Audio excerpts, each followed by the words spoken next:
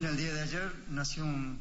procedió a transferir, transferir los recursos que habíamos solicitado por el mes de mayo, que significan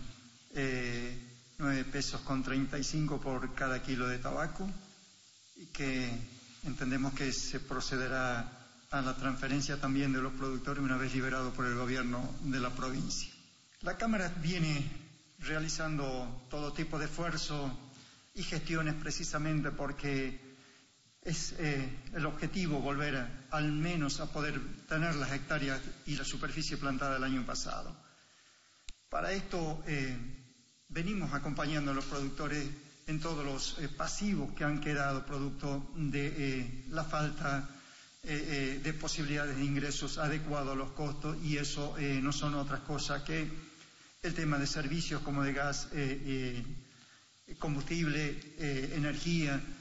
pendientes, ¿no es cierto?, todavía de pago, en lo cual se lo debe resolver para tratar de ir más ordenadamente. Pero asimismo también está en todo lo que hace a los programas que propiamente con recursos la Cámara lleva adelante, como lo que es la preparación de suelos, gasoil, el tema de almácigos.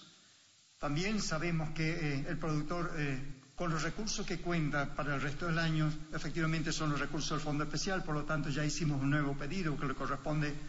por el mes de junio y eh, eh, buscar también la pronta aprobación y transferencia de los recursos que hacen a todo lo que es, eh, han sido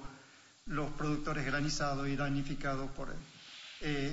la tormenta del año pasado. Más allá de ello, también se viene trabajando muy fuerte y hemos presentado la ampliación de lo que hace al, protocolo porque, para, para la Cámara del Tabaco, para que podamos tener la externalidad necesaria, como también el protocolo por campaña y plantaciones que también ya fue presentado.